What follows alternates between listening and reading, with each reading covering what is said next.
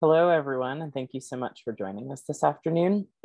My name is Benjamin Quinn, and on behalf of Harvard Book Store, I'm so excited to welcome you to today's event with Myisha Cherry, discussing her latest book, The Case for Rage, Why Anger is Essential to Anti-Racist Struggle, in conversation with Jason Reynolds.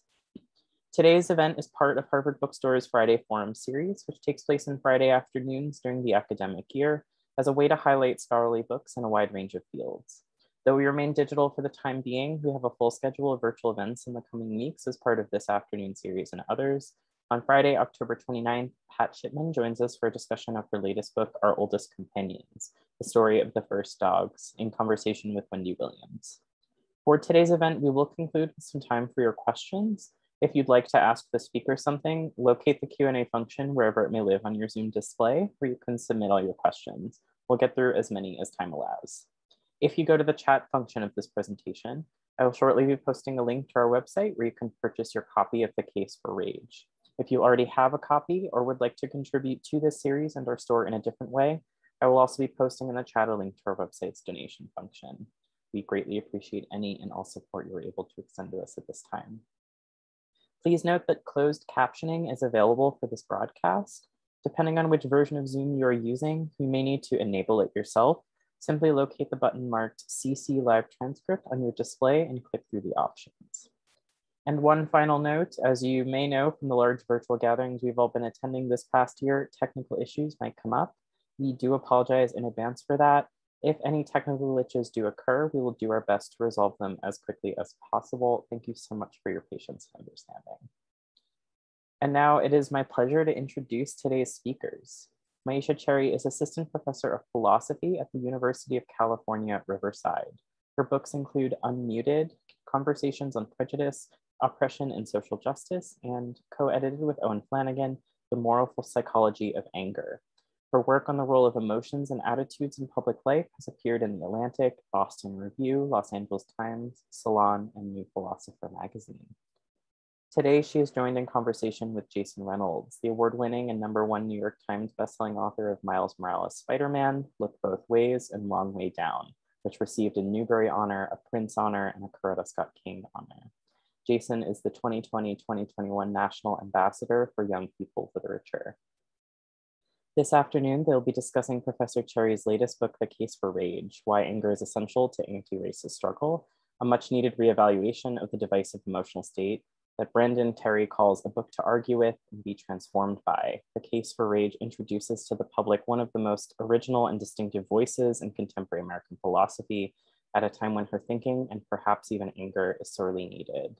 Identifying what Professor Cherry calls Lordean rage, the case for rage strips anger and all its synonyms of their negative connotations, critically establishing rage as both necessary and suited to the anti-racist struggles of our times. We are so honored to be hosting this event today. Without further ado, I'm now delighted to turn things over to our speakers. The digital podium is all yours, Myisha and Jason. Thanks, Ben. Benjamin. Sorry, I'm, I, don't know if you go by Ben, but thanks, Benjamin. All right. So before we get started, let me just say this real quick uh, to everybody listening and watching. Thank y'all for coming. Uh, you should know beforehand that Myisha and I are, are, practically joined at the hip. This is someone we're very close. We've been close for decades. Um, one of my best friends in the world. So this is going to be a casual way to have this conversation, casual way to talk about this this wonderful book. I'm very proud of you. I'm very proud of you. This wonderful oh, book. Thank you, Jay. Um, for those of y'all who showed up, I hope that y'all show up with your dollars. I like to be very honest about this, right? you know what I'm saying? I'm glad you're here, but I also need you to buy the book. Harvard, Benjamin gonna put the link in so you can buy it from Harvard Book Store it's cool to be here and support and show love and be interested and curious about what she's talking about. But in order for her to continue to have these conversations, you got to put money in the pot.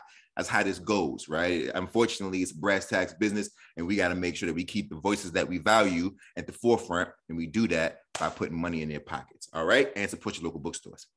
All right, my friend. The first question: Are you? Are, do you have something you want to say? I have nothing I want to say.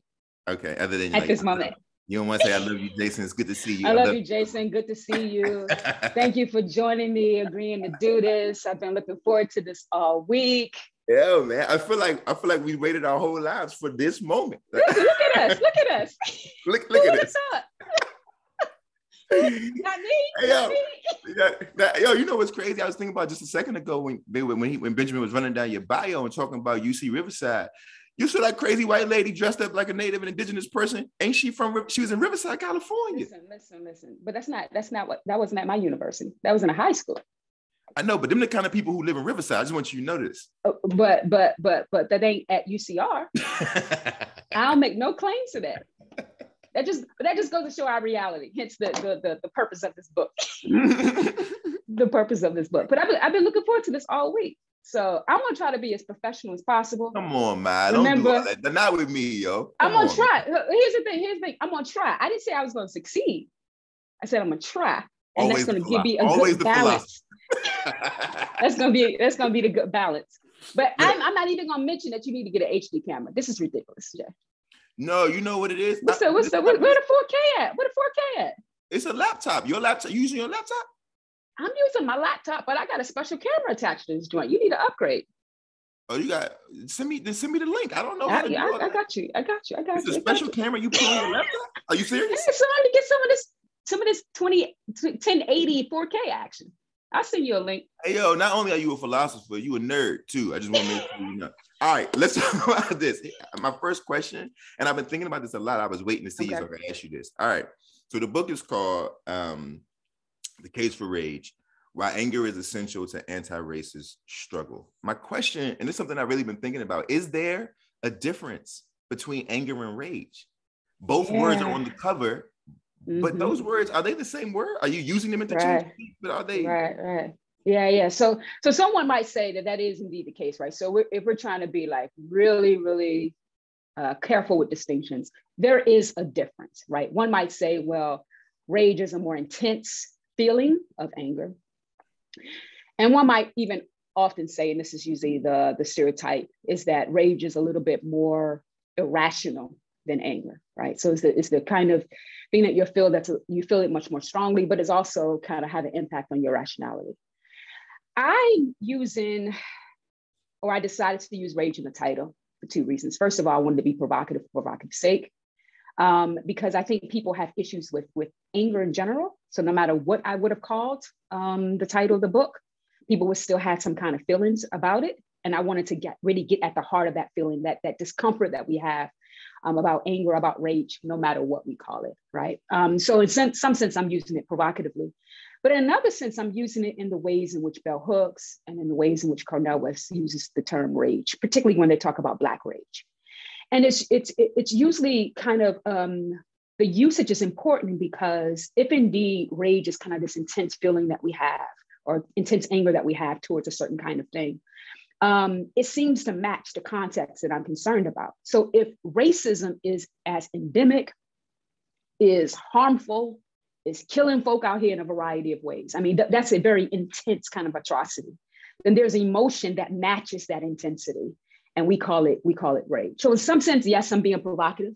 I want to bother people with the usage of this term, but I'm also using in the sense that it is a feeling that one is it's not frustration, it's not annoyance, it's this yeah. intense feeling that we feel against uh, racism. So yeah. Right. With so right, that makes sense. So within this context, then the, the conflation of the definitions is is like a, it's something that is uh it's, it's a passable like you can do it within right. this context because there's no because race because racism the infliction of racism on the on the black on the black body, the black psyche, uh, the anger that is associated with just being frustrated is not what we're dealing with, right? We're talking about right. a much more uh, egregious sort of situation. That's what's up. That makes right. sense. For people who are who are who are new to you, people who are who have not read the book yet, your your, one of your sort of cornerstones and what you're arguing is the, this idea called Lordean rage. Mm-hmm. And so, just so we can make sure that everybody's up to speed, um, how does one define Lordean rage? Right. So, one of the things I want to say is, and I believe, and this is kind of the motivation behind the book, is that I think that people have a tendency to look at anger as one thing. Um, they usually have a tendency to depict it as, oh, when one is angry, one wants to enact retribution, one wants to engage in revenge, it's always violent, et cetera, et cetera. And if that's if that's what people feel about anger, of course you're going to have problems with it. And I want to say, no, there's different kinds of anger. Um, And there's different kinds of anger, particularly in the racial context that I'm very much concerned with. And so I begin the book kind of talking about these distinctions, and I kind of set it up by saying, well, here are all the bad kinds of anger that can arise in the context of injustice. Um, and I want to say that people have, who have a problem with anger has a problem with those, those types, but there's a different type. There's another type that I want to want to lift up, and that's the that's the kind of anger that I'm making a case for. It's a virtuous kind of anger. Mm-hmm. I call it's an anti-racist anger. I call it Lordean rage uh, because I'm inspired by Audre Lorde's uses of anger. And so a lot of things that she talks about in uses of anger, the kind of anger that she talks about in that book is the kind of anger that I'm very much concerned with. So Lordean rage or this kind of anti-racist, virtuous anti-racist anger that I'm talking about, it's directed towards racism, racist, racist attitudes, people who engage in or complicit in, in racism. Right, that's important. Another thing that kind of makes this anger different from the other types is that it aims for change. To be a little bit more specific, and this is Audre Lorde's word, it aims for radical transformation of our world, right? So it has a very different, different aim. When one has this particular emotion, they are motivated to engage in to change their world and, and to change uh, structures, to dismantle structures. Um, but also when someone has this rage, the kind of perspective that they have. It's not a selfish perspective. It's not, not a narcissistic perspective. They're mm-hmm. thinking about everybody. So it has what I call kind of an inclusive perspective. It kind of has, well, Audre Lorde, this kind of notion that I'm not free until all of us are free, right? So it's directed not at scape, scapegoats, not at all white people. It's very specific in what it's directed at. Um, it aims for radical transformation of our world. And it's not just connected with Black folk getting free, it's connected or concern about everybody getting free. Um, yeah. And that's what I think is distinct from what happened on January the 6th, the anger that they had, the anger that people who marched from Charlottesville had, the anger that a few Black elites have that's only concerned about injustice when it, when it affects them. This is, this is virtuous in the sense um, that it's directed at the right folk, it's aiming to do something productive in the world, and it's concerned about everybody getting free. Just for for context, there she uh, to me, I find this to be all very brilliant. That she, uh, Myisha, um, lays out varieties of rage. Right? There's a rogue rage, which is a very specific kind of rage. There's a mm-hmm. wipe rage, which is what we saw with Nazi Germany. Right? Mm-hmm. There is uh, is this word ressentiment? Ressentiment. Ressentiment. I don't speak French. Yeah, yeah. I don't speak French. She could have used the English let's translation, pretend. which is resentment. I don't know why she. But, look, but no, Myisha, Myisha, you tried to get a. No, no, you no, one of them. You a new. You a new black. That's what you acting like. I don't like French, but I'm a new black. I don't like French, although I like French cinema. But but the reason why I, reason why I use it is because in the way in which French speaker Frantz Fanon uses it, and the way that Nietzsche also uses it. It has a, it has a, a, a separate meaning. All of y'all listening, when you when you become a professional or a professor with a doctorate, you get to just figure out whenever you want to choose. Just throw a little French in there. Ressentiment yes. rage. She's called ressentiment rage. And then, and then she got narcissistic rage. And then, mm-hmm. of course, there is uh, Lordean rage, which is what this book is primarily about. Let me ask you this: Black folk, you know, our whole lives, so many of us are raised to, and you and I have had this conversation before. You know, we're we're raised so many of us are raised to almost believe that that this is a part of ourselves that we're supposed to tamp right? This is a part of ourselves that we're supposed to uh, sort of sort of siphon off or, or, isolate into some sort of psychological silo that we're to, never to be opened right? Mm-hmm. um, as a matter of fact many of us grew up with our with our grandmamas and our, our og's saying oh count it all joy. No matter what happens no matter what happens count it all joy they never say count it all rage, right? That they never right. like, hey man, they never. It, it, that's never the way that this goes. And so I guess my question, I mean, it's which means that what you're doing to me feels revolutionary in many ways. Mm-hmm. And I mm-hmm. guess I, I just want to, um, I guess I just want to ask you, like, how how does one, when I say one, I mean you. How do you decide that, like, you know, actually, maybe we don't count it all joy. Maybe maybe mm-hmm. there is a place for this right? Mm-hmm. Because I know I know how you were brought up. I know your background. Like, mm-hmm. how does one decide? Actually, I'm going to choose anger. Mm-hmm. Yeah, yeah. So let's come back to the joy part because I want to say that you can have you can be angry and make space for joy. So I want to keep that there, but that's not what we've been taught, right? Um, so I kind of start off the book talking about how I don't remember the first book I read, don't remember my first kiss, but I do remember the first time I was angry and it was at a racist encounter that I had with a friend of mine when I was seven years old, eight years old. Mm-hmm. Um, so it's an emotion that I felt very young. Um, but growing up, I mean, particularly in a Christian household, was taught that hey, that's not that's that's a that's a vice. Um, growing up in church, particularly for women, it just wasn't something that was acceptable, right? Um, but wasn't what wasn't talked about was well in the Old Testament the prophets were angry, God was angry, Jesus was angry when he you know uh, went into the temple and you know tore stuff up and um, and then people forgot about the scripture about be angry and sin not, right? So they omitted all that other stuff, but it was a culture of, of just being taught that that the anger is something that we shouldn't feel. And you know, I was particularly when when Trayvon Martin was murdered in 2012, I really began to rethink, or not even rethink, really take it's intellectually serious to try to figure out what is up with this emotion that everyone seems to have a problem with right? Now i think i think black folk having a problem with it is very different from white folk having a problem with it very different from other cultures having a problem with it right? Um, but i really wanted to figure out why is what is so problematic about anger? And is it any some is it something about it uh, that we can uphold? Is it something about it that we can use? Because it has to be something powerful about it. If if if the oppressor is telling me not to be angry then it has to be something potent and powerful about the emotion, right? Um, and I also believe that there's something that we have internalized as, as, as oppressed folk um, about, about the emotion. So I really try to figure out what is it about it. And as I began to do research, reading Audre Lorde, reading a whole bunch of other feminist philosophers, reading a whole bunch of books, I just realized that it has value Um, and, and I guess I can just begin to talk about some of the value that I that I think it has. And it's not to say that it's a perfect emotion because we are not perfect human beings, so we can do a whole bunch of stuff with it. But this is a reason why I think it has a place in anti-racist struggle. I think one of the things that anger says um, is that it detects that something has gone wrong. Now, if you live in a society of white supremacy, of sexism, um, no one wants to hear that things have gone wrong. So hence, of course, people want to, you to temper your anger, et cetera, et cetera, because anger says something that something has gone wrong and people just don't want to know or accept. I mean, we see this with people's problems with CRT. People don't want to know their, their history and they also don't want to know the facts about their present. But that's what anger does. It makes that proclamation that things, things are not what they should be. Another thing that, that anger does and mind you, in order for things to change, we have to recognize that things should change and there's something wrong. Another thing that anger does is that it affirms the value of lives, right?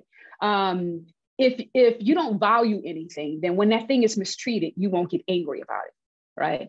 Um, if I was to come to your house right now and cut up that leather, leather, nice leather coat, uh, sofa you got in there, break down all those uh, I'm not even going to talk about how expensive those original uh, uh photography pictures and all that art you got in your house, which is nobody's business, but I know how much it costs. But you telling everybody, but you're going to tell everybody, I'm just, right? I'm just, I'm just, I'm just saying. I didn't tell people where you live, though. I didn't tell anybody where you live, but you, you'll be upset with me. Why would you be upset with me, right? Why would you be upset? Because that has value, right? You re- usually respond with anger to that thing that has value, and I would know right? That, that, that you value it by your anger. So there's something about anger that says um, that if you mistreat a certain group of people, I'm going to respond with anger. And by doing that, I'm saying their lives matter. We're in a world of white supremacy uh, where white people are supreme. Who wants to hear, hear that? Right. Um, but another thing that anger does, it motivates us to engage in productive action to transform our world. Um, it, it's also an emotion that resists white supremacy. So it has this, this, this value. And what I want to do in this book is to say, yes, I know what we've been taught. I know about the stereotypes that we don't want to confirm, which I think is a strategy to keep us silent. I know all about that stuff, but there's value in this particular emotion, particularly in, in, in fighting against racist structures in a racist society. And we can use it for productive means, despite what we've been told. I mean, it's no different than like, you know, pain, right? Pain in the body, right? If mm-hmm. I have pain in the body, it means something is wrong. Right. right. And so this is almost like a transmutation of what that would be if it's pain in the body politic. Right. Mm-hmm. It's mm-hmm. like if, if, there's anger, if there's pain, there's anger. Right? right. Some something is that this is a signal that something is the matter, right? Something is right. wrong. Uh, it's super interesting. I, you know, the last time I saw you a few weeks ago, we were talking about um, forgiveness, and I know this is a. It's technically a separate, a separate sort of tributary, right? But I, I, I, I do think it's interesting to think about: can one be rageful and forgiving, and is that, and is it even necessary to you? Mm-hmm. Now it's interesting because when I began to do research on on on on anger, I came about it through forgiveness, right? Um, because I was hearing people, hey, forgive. Why can't these black folks just forgive, forgive? And I was trying to figure out, so what, does, what do they mean by forgiveness? And one of the most popular accounts, I mean, we know this, is the letting go of anger. So people can, you know, usually people's responses when you say, hey, what, what does it mean to forgive? Oh, I'm not angry anymore. I let it, I let it go. And that it is supposed to be, to be anger. Hmm. Um, I also resist that definition. Um, I think that could be right in certain some circumstances, but I think it's possible to forgive without letting go of anger because I think there's just a variety of things that we can do that can count as forgiveness, right? Um, so it could be the case that I forgive you not by letting go of anger because perhaps I wasn't angry in the first place. I may forgive you by deciding not to not to commit revenge, or I may uh, forgive you by not allowing your past actions to determine in my mind who you actually are. I may forgive you by letting go of the hatred that I have in my heart. I mean, there's a variety, I think, of moral things that we can do that will count as forgiveness, so that we can achieve a kind of repair between our relationship or reconciliation, et cetera, et cetera. So I have a very broad understanding just as I have a, have a broad view of anger, right? There's the variety of angers. I also have a broad view of forgiveness to suggest that there's a there's a several practices or several things that we can do that can count as as forgiveness. With that in mind, I, it's possible to forgive and, and keep your anger. Hmm. Hmm. That's possible. I don't I don't see a conflict in that. Um, I, I, I don't. Um, and it also doesn't mean that as a result, it goes back to the people's concern about violence. It also doesn't mean um, that as a result of that, me holding on to that anger, that I'm gonna burn shit down. I mean, that doesn't necessarily mean that either, but it's, it's possible to, forgive. I no longer hate you. But when I think about you every now and again, that anger may arise because the wrongdoing was so intense.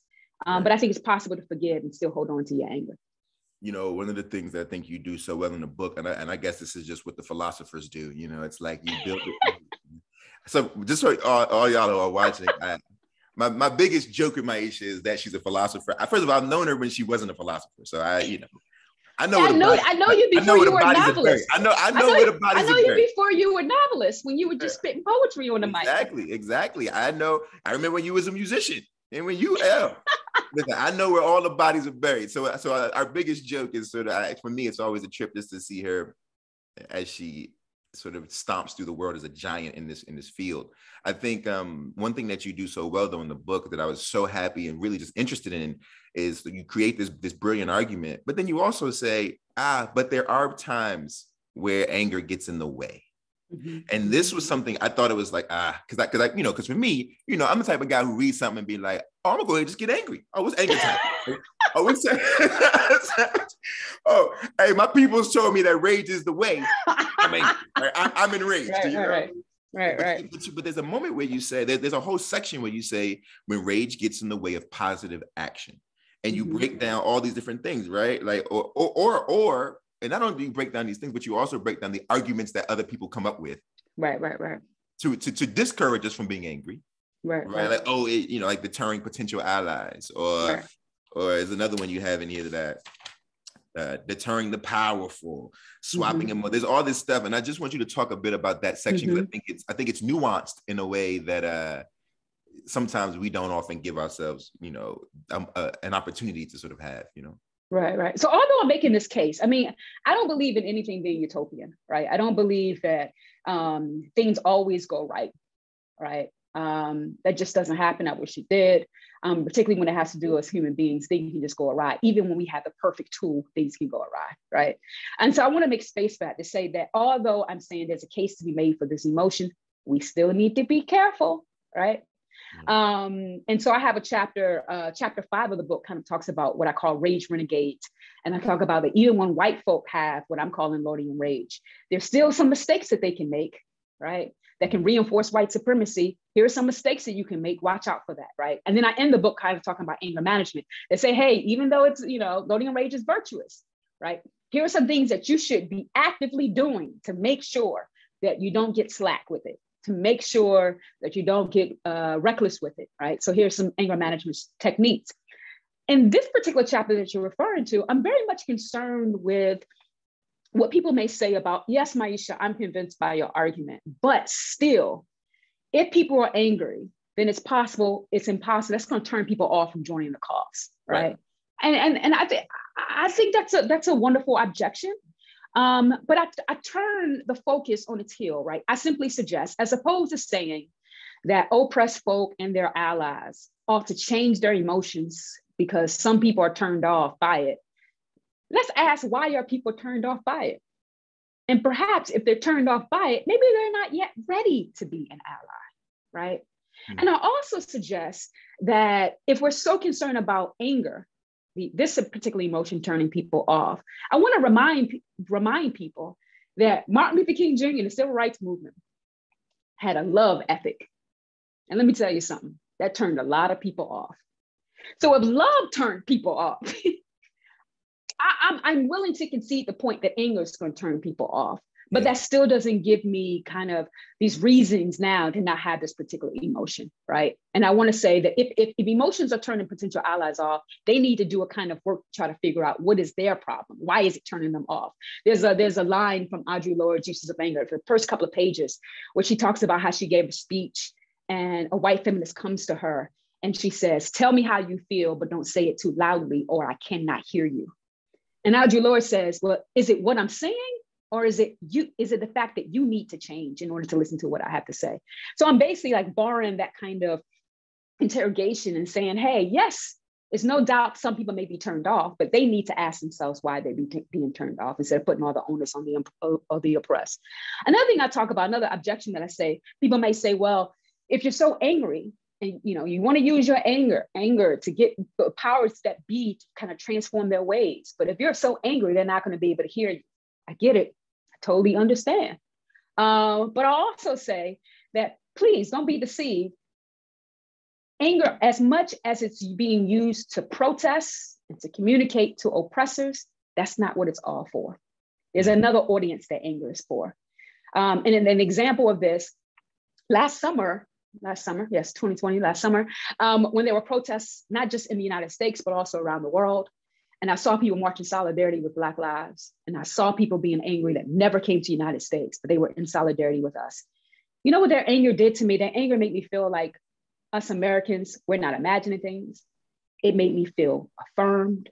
Because that's the kind of work that anger is also doing. It's not just sending a message to the oppressed, but it's also sending a message to the oppressor that if anybody mess with you, Jay, and if you see that I'm angry, that tells you that I love you. It tells you that I care for you. It tells you that I have your back. And anger is not just communicating a message to the oppressed. It's also communicating a message to the to the to the oppressor. It's not. It's also communicating a message to the oppressed. So even if the oppressed doesn't hear us, the anger is still speaking to us, and that should matter too. Does it ever concern? Does performative anger concern you? Yeah. Like I think about I think about this I think about this with a few I've been thinking about this a lot lately because it probably mm-hmm. I haven't. So like let's say Lordean rage, right? This brilliant idea uh, becomes a household term, mm-hmm. right? White folks are like, I got Lordean rage, mm-hmm. right? Uh, I went out there and I marched with George Floyd, though I have zero self-interest. I got Lordean rage, right? Mm-hmm. Everybody got to see me out there.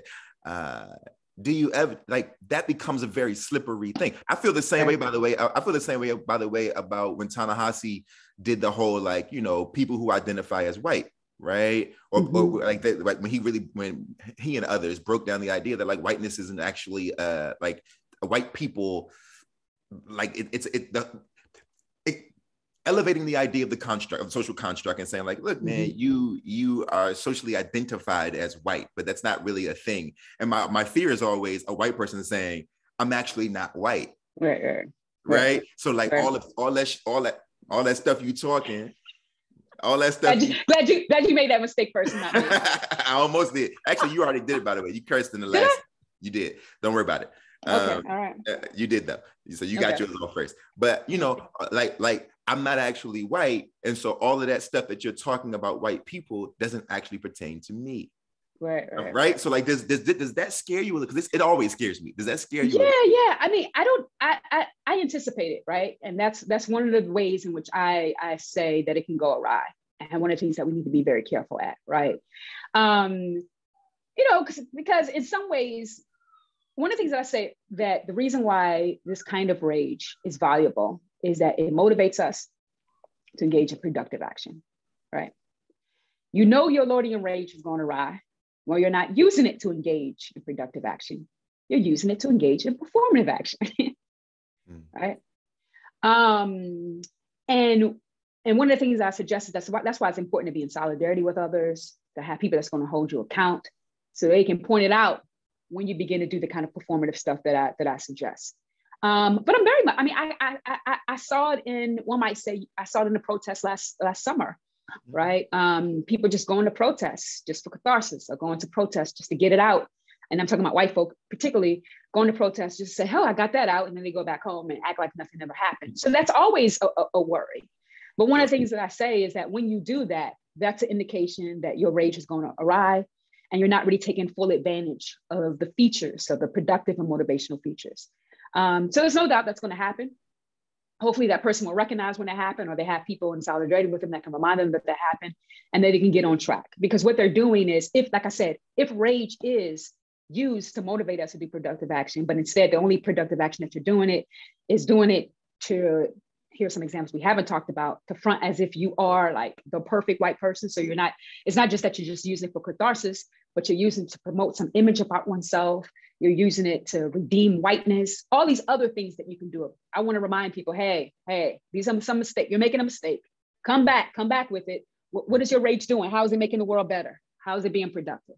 Um, so yes, it can go awry, but it's not just rage that can go awry. Love can go awry. Um, compassion can go awry A whole bunch of emotions can go awry.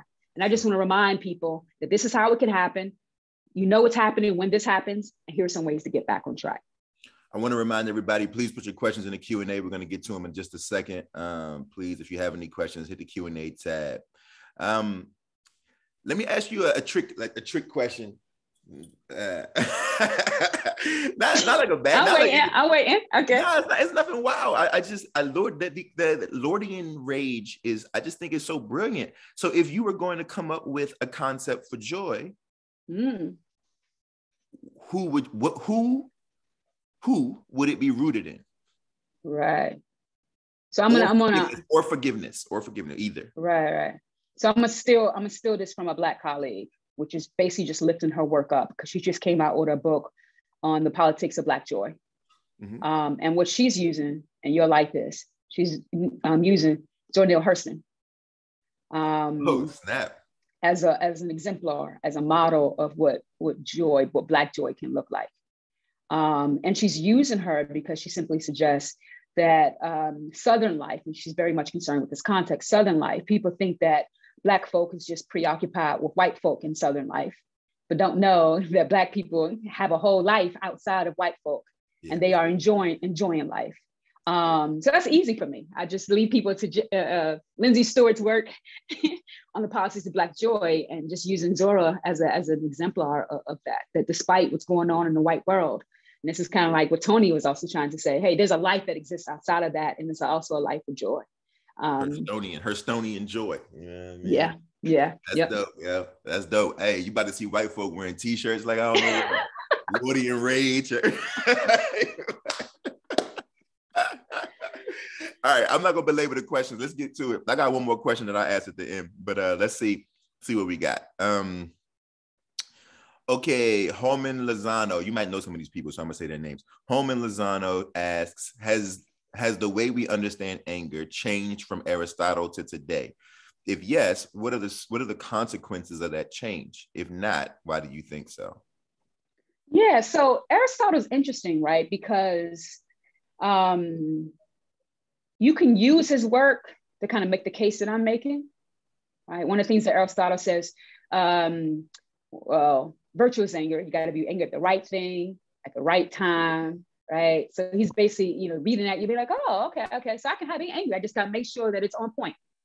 And then you can also read Aristotle. And Aristotle may describe anger as, uh, you know, a desire for revenge, right?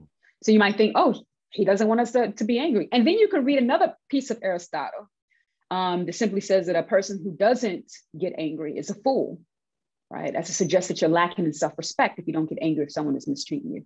So you can you can pull from a, a variety of, of aspects of Aristotle to support your view. There's an author, a philosopher by the name of Martha Nussbaum, who uses Aristotle to make a case against anger. And she uses Aristotle by suggesting, and mind you, this book came out, I think, in 2016 um, by my publishers. Um, and basically, she makes, she simply says, hey, like Aristotle, what it means to be angry is to have a desire and a lust for revenge. Um, that's what it is to be angry. And so, therefore, we shouldn't um, use this emotion. Instead, if we're angry, we sh- should transition to more positive emotions, such as generosity and love. So, even, you know, I'm looking at her work as much as the Aristotle strand was millennia ago, there's still philosophers inspired by an aspect of his thinking that suggests that anger is a bad thing um, and that it's not useful and it's going to lead to vengeance, so we shouldn't have it. Um, but I read Aristotle differently. And I, I, I look at Aristotle's work um, and say, he helps me make a case for the kind of rage that I'm referring to. Do you think that there's a human emotion that's bad? I like this question. I like this question. Yeah.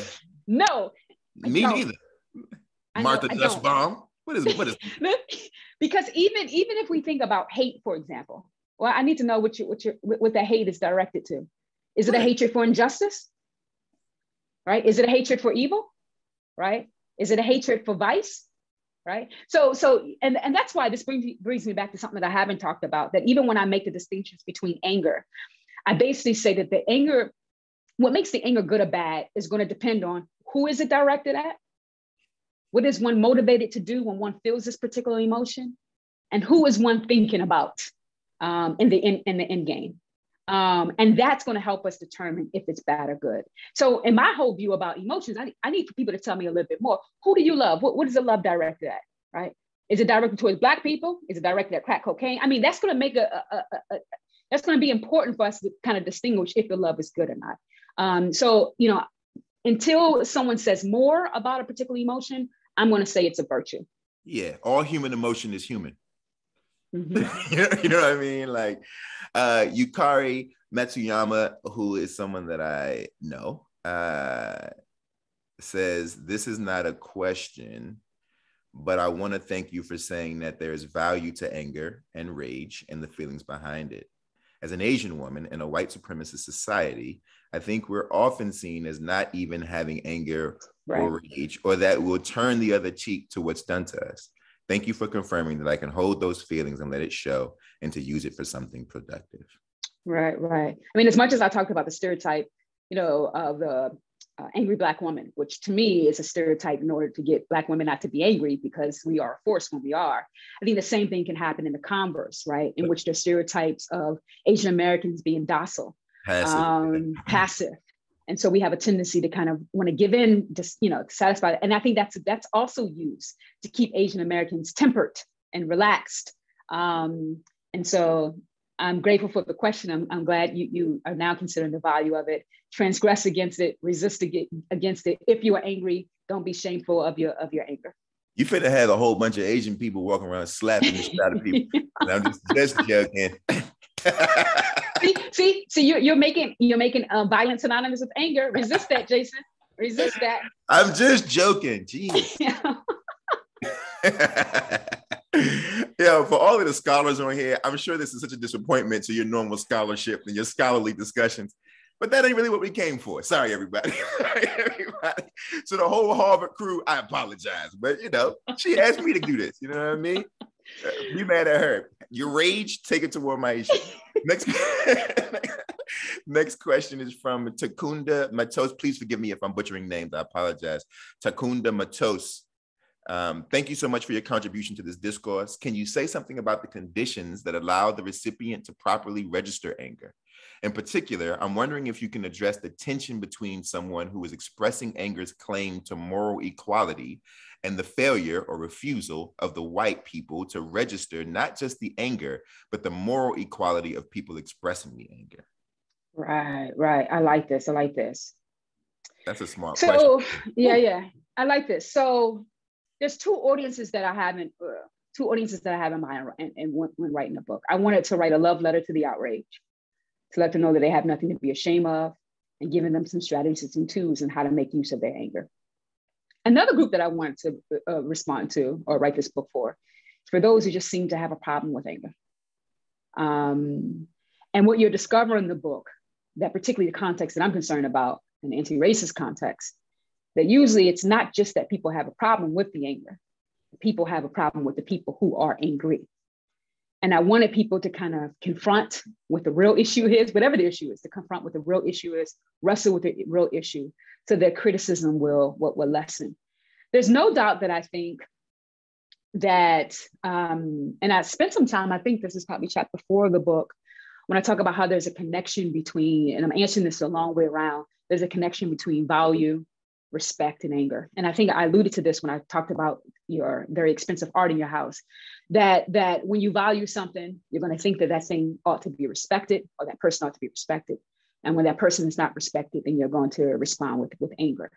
And we see this in relationship to white men. I think about the uh, most recent cases, Brett Kavanaugh, um, if he thinks, you know, he's valuable and he has certain kinds of entitlements, and if there's a barrier to that kind of particular entitlement that can be translated to disrespect, then when he responds, he's free to respond to anger in ways in which Blasey Ford was not able to, because there's connection to value, respect, and anger. And I take it to be the case, and later on that chapter, I talk about Darren uh, Wilson, Officer Darren Wilson's encounter with Michael Brown. And in his, um, in his description of the events, he describes that uh, he was confused about why Michael Brown was getting angry that he was shooting him, right? And I think that you can be confused about that particular encounter when the person that you're shooting at doesn't have any value. If you don't think they have value, they don't think they're entitled to any kind of respect. And you also will not think um, that they deserve any kind of anger in response to you fatally shooting. So I would say that the person who has a problem understanding what that anger is is communicating i think what that indicates or what that signifies is that person just doesn't respect the value of your particular life um, if they don't understand your anger. I think there's a very deep uh, connection there. Um, and the anger is reminding them that you're just not the one. um, and so I just hope that my book will help people contend with those underlying issues, uh, that the problem is not the anger, but the people who have the anger, and that they can also wrestle with their racist assumptions and racist views in relationship to the anger or the outrage. Mm, that makes sense. That's that's word. Um, this is an anonymous attendee, but I love this question, and it gets to something that we brought up a little bit earlier about our upbringing and everything, and how okay. culturally. But it's such a good one. Um, I am particularly attracted to the premise of your argument because I find two expected, accepted reactions to racism, especially in the academy, very problematic. I am assumed to be hurt or even offended which forces me which forces me to explain that racists don't have that power that, that much power over me. Mm-hmm. is anger a solution or is it equally problematic in this respect? This is such an interesting question because this is what we always hear. Don't let them have that much power if you get upset right. with them then they got power then, then it proves they got power over you. Right right right right. So there's several ways that we could address this right? And one way that's a psychological tool. In some ways, it keeps us sane, but it's also a strategy game, right? Because remember, you know, like you said, um, well, if you show them that you are upset, it shows them that you have. I mean, that's a, that's a very that's a strategy that's implemented in a game. Um, here's the thing: I'm just realizing particularly seeing the lives that we've lost over COVID that has nothing to really do with medical stuff, but also social economic background and racial background and such and such. And I think about people who constantly are being killed in these streets and just racial inequality and housing issues that very much racial. This is not a game. And I'm not down for playing those games anymore, right? Things are not going to change until we call them out, right? And there are people who are not just hurt or offended, there are people who are dying and my anger is a response to that death, not my anger is a response, not to the power that I think these people have, right? But it's to the value of the people that I love and the power that I think we all have to transform our, our particular society. Um, I understand the, psych- the psychological strategies that we use to survive. I understand the kind of communicative game that we have to engage in, but I'm just not down for that game anymore. It's time for us to really get real about changing our world, transforming our world, and it has to start with us communicating how we feel and being honest about that feeling and doing something in response to that feeling. Mm, body that. You body that. body that one. Hey, I want to. I'm going to skip. I'm going to jump around a little bit with the questions because there is a question I really want to ask for my own edification, but also because it's my guy. Shout out to my guy Jabari, my homie Jabari in here. He has. He's. Uh, Jabari. Oh, you know, it's right. Got you, Jabari. Yeah, yeah, he's a Harvard alum. Yeah, yeah, yeah. Shout out to Jabari, man. Um, and you know, Jabari works in you know in, in the K through 12 space uh, as a school teacher, uh, doing such such wonderful work for the Black babies and and and and also attempting some revolutionary methods. And so he's he's asking what forms might a productive rage, specifically Lordean rage, take in a K through 12 classroom. Mm, in the classroom. Question. Let's go, Jabari. That's a good question. Jabari, I, I wish I could hear your voice because I, I, want you to tell me a little bit more. Right, I, am I'm I'm wondering and curious about um, the kind of space that you're that you're imagining. Right, so you're imagining, oh, there's a conflict in class. Um, it's a racist, a very explicit racist conflict, and you have kids responding with with anger, and you want to you want you want to ask, what would a, a Lordean response look like in that particular context?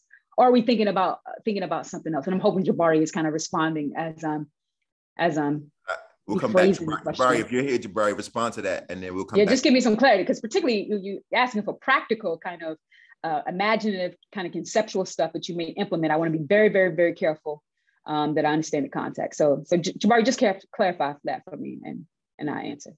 All right. So from uh, Christine Brown says, the performative anger happens when true change isn't ready to be accepted. Anti-blackness is deeply rooted within white folks and is going to take more attending more, th- more than attending a protest to fully interrogate that. How do we demonstrate the full complexity of our humanity?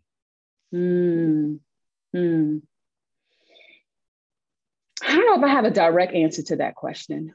Um, I mean, I would say and there's something um, that was embedded in that question made me think about this thought. And I don't know if this would be satisfactory, but I'm thinking about there, there may be an assumption that what I'm arguing about, or at least the productive space that I'm thinking about, is a protest. As to suggest that anger only has utility in that particular context in the Black Lives Matter protest. And I want to say, I just want to remind people that the case that I'm making, or even to be clear about the kind of space of anti-racist struggle just don't happen in the street. Anti-racist struggle happens in our private spaces. It happens in our psychological minds. It happens in our interactions with our friends and our loved ones, et cetera, et cetera. And so when I think about making a case for rage, I'm not just talking about using rage um, to engage in a protest. Um, but I'm also thinking about ways, and, and maybe this perhaps would answer that latter question, um, about ways what do you do when there's no oppressor around or there's no other protesters around how can rage still do the, the kinds of things that I'm, I'm referring to and i want to say that there is even when no one's watching the kind of rules that you can break and i call these racial rules in the, in the book yeah, i don't have time to really go into it um, but even by yourself you can be in a resistance figure simply by acknowledging that you're angry at racial oppression. I kind of lay out why that's the case. And that's a way to kind of maintain your dignity. Um, that you don't have to declare, you don't have to give them the news about it, you don't have to allow, you know, white folk to listen to you. Um, but just by yourself, you can be a resistance figure with your rage, and that can be a way uh, to maintain your, your, your dignity and dignity in such a society. I also want to clarify something that, you know, the case that I'm making is not a case for Black rage. Black rage can fall under the umbrella, but I'm talking about rage that anybody has, that Black folks have, that people of color have, that white allies have in response in response to racism. Um, and so, as much as this can be helpful to Black folk, it's it's it's inclusive. It's it's a rage of anybody who is frustrated, irritated, and outraged at what's happening in our in our society. And that is what makes it specifically Lordean rage. Yes, yes. So, but so Holman Lozano, to answer your question, that's what makes it. Because the next question is, well, what makes it Lordean? That that's what makes it. That's what specifies it. Yeah, yeah. That uh, inclusive aspect, yes. What is your response to Alabama refusing to teach critical race theory, saying they don't want to encourage, saying saying they don't want to encourage basically this very rage right. that we speak of? Right, right. Well, what I've been hearing is that they don't want to, they won't want to I don't know how many of you have seen the Condoleezza Rice View oh, excerpt. Have. And it seems to be an overwhelming concern about history hurting the feelings of white folk, of white students. And we know that we have entered a space in which we live in a world of white supremacy. And I don't want to really isolate Condoleezza Rice because I think a lot of people are articulating that. when the concern becomes white feelings mm-hmm. over Black and Brown lives. Right? We, we know we have entered a dilemma in which, I mean, it was articulated as if this should be the acceptable thing. You know, don't tell the history because it's going to hurt white people's feelings. Not that it's going to kill, but continue to kill Black folks. Not that it's going to continue to allow those same feelings to turn to hate and, and ways in which they can enact action that had a lot to do with what the actions that happened on January 6th. Let's not be concerned about that. Let's just be concerned about white feelings. And, and the feelings are feelings of guilt and shame, um, which I don't know a lot of white people who feel guilt and shame about being white. I do know a lot of Black folk, a lot of Brown folk that feel a lot of guilt, uh, feel a lot of shame, feel a lot of inferiority um, in, re- in relationship to being who they are because they live in a white supremacist society. And it's just a reminder um, and this is what i'm trying to do in this book is to center the emotions of people who really care about justice and not center the emotions of people who are scared to be reminded about the realities in which we live. So my response to what's happening um, is give my professional response. Um, is it some um, just a reminder um, all the more that we need to teach the truth we need to teach the history and the present. And we need to be concerned not just about the emotions of the privileged, but the emotions of the oppressed and their allies. So Jabari is back and he says, uh, and then I'm going to ask the final question. Jabari back, he says, I'm thinking about making a space for students' rage. Mm-hmm. Mm-hmm. Their rage at racist moments in the classroom by peers or teachers, but also by admin via curricula. Right, right, right, right. I think one way, Jabari, perhaps we can talk about this offline a little bit, to kind of do the kind of work that I'm challenging people to do in the first chapter, to get students to say, hey, who, who's, your, who's your rage directed at? What you want to do with it? Who are you thinking about with it? Right. So really asking those kinds of questions. Um, and in the other space, we call this kind of doing kind of emotional intelligence work. Um, and I don't know, Jabari, I mean, I know you're familiar with this. I don't know how that has been received in educational spaces. I know it's been received in business spaces, but particularly when you're dealing with children, we need to take wrestling with, talking about, um, trying to get a handle of, and also listening to the emotions of young people. Mm. And if we don't do that now, we're going to face people who have stunted emotions, who have suppressed emotions, that end up doing some crazy stuff when they get the twos of age to do with it, right? Um, I don't know how that can play out, but I think most definitely, Jabari, emotional intelligence work needs to be done in the classroom. Um, and I think that kind of work would lead us to developing um, healthy um, emotions in the classroom. And an example of that is being Lord is Lord Rage. Jabari, I think that you're one of the guys who who perhaps with this kind of information can suss that out, you know what I mean, mm-hmm. and kind of build mm-hmm. that infrastructure for for how do we teach young people to express rage in the classroom and, i'm sure you know we you got it champ. You know what i mean? You got it. Um my last question Myisha I, i'm going to close it out with this. I ask everybody this. Everybody that i do these sort of uh, book talks with um from you know ranging from james mcbride to crystal fleming to i mean everybody anybody i do this with that's the same question. So think about this book and what you've made you know and then think about your 10 year old self right? Myisha at 10 years old. And I think we've talked about this, you know, like your 10 year old self, what would you think 10 year old Myisha for? What grade was that in 10th grade? Probably like the fourth or the fifth.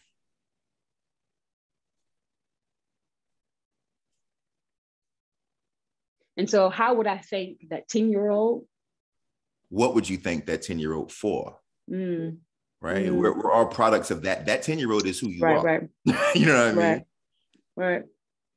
So when I think about being 10, I was in Miss Yarbrough's class, fifth grade, Norview Elementary School. And that 10 year old had a sense of purpose that early in her in her life. Um, and Miss Yarbrough was also a teacher, constantly challenged her to live up to that kind of aspiration, that kind of purpose. Um, and so one of the things that I would think that 10 year old, I mean, it's hard to think that 10 year old would also think in that community in which that 10 year old was living in. Absolutely. Um, but that sense of purpose that she had and the sense of or feeling that that purpose was being nurtured um, has a lot to do with what I am today.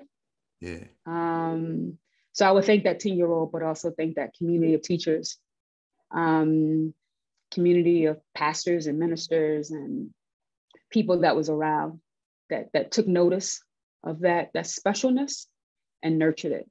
Because um, it hadn't gone away, I still have it. So, word up, shout out to Miss Yarbrough. Yeah, Miss Yarbrough. Myisha, I love you. I love you too. That's why I'm gonna get you this link so you can get this 4K camera. Cause this is ridiculous. I can barely see you. I gotta take my glasses off. It's so blurry. Whatever, yo. I'm just proud of is you. Is that 720? Is that 480? Can we talk? Can we can we close out? Can okay, we close I'm out? I'm sorry. Can, I have yes, a yes. moment to tell you how much. I love you and appreciate yes. your work? Can I? Yes, yes. I love you. you. I'm grateful that you're in the world. I'm glad this book is in the world. I think it's going to set a lot of us free. You know what I mean? Oh, I think a lot of us are. Yeah, man, and, and uh, yeah, and no, none of your other talks are going to be this fun. So, like, I hope you had a good time. You know what I'm saying? I did. Thank you, buddy. Thank you. I appreciate it. I appreciate it. Thank you both for this fantastic conversation. It was simply the best. Thank you for sharing your brilliance and your light with us today. Thanks to all of you out there for spending part of your afternoon with us. Please learn more about this incredible book and purchase The Case for Rage at harvard.com.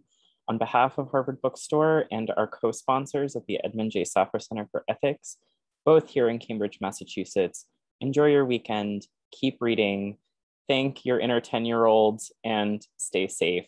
We love you. Thank you so much for joining us today.